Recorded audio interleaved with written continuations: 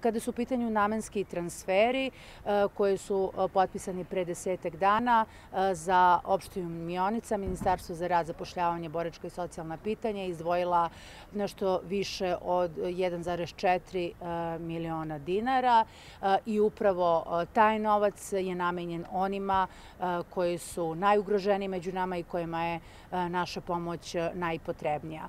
Takođe, na području ove opštine je razvijena i usluga pomoć u kući od 2017. godine i nakon toga zbog povećane zainteresovanosti se iznova, iznova svake godine obnavljala ova vrsta usluge i u ovom momentu imamo 38 korisnika na području ove opštine, korisnika ove usluge.